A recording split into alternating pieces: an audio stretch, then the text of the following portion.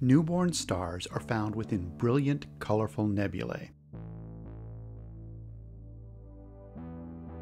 However, star formation begins in dark, dense clouds. Within one vast dark cloud, gravity collapses thousands of individual dense clumps. The core of a massive dense clump will compress and heat until it forms a protostar.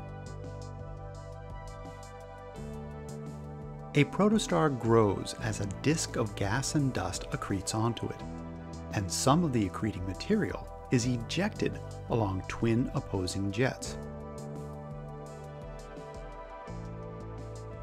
While the star finishes its formation, planets build up within the surrounding disk.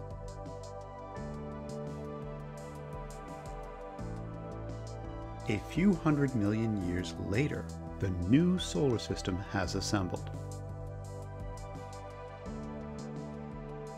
Stars and planets form together at billions of sites across our galaxy.